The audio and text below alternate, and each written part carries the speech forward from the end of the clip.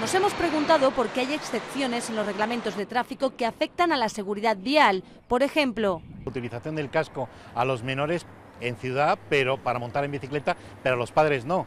También está prohibido utilizar el móvil conduciendo, pero no otras acciones. Como fumar, que es peligroso. Puede saltar la brasa y nos puede quemar y perder el control del vehículo. En principio todos estamos obligados a llevar el cinturón de seguridad, pero según datos de la DGT, el 50% de autobuses no los lleva y tampoco se les sanciona.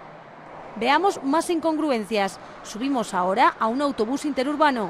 Lo que estoy haciendo en estos momentos es algo muy común en nuestro país. Miles de pasajeros lo hacen cada día y es ir de pie en un autobús interurbano. Ahora mismo estamos en la Nacional 1, una autovía, y vamos a 90 kilómetros por hora. ¿Ustedes irían de pie en su coche a esa velocidad? Sin ningún tipo de sujeción, ni siquiera le protege la propia butaca. Eso sí, los carteles dicen que mejor agarrarse a los asideros por su seguridad. Continuamos con otra excepción. Todos los niños deben subirse a un vehículo con un sistema de retención adecuado a su edad. La directiva europea y la norma española sanciona esta acción con una multa de 200 euros y la retirada de tres puntos. Pero la DGT exoneró hace años de responsabilidad a los taxistas.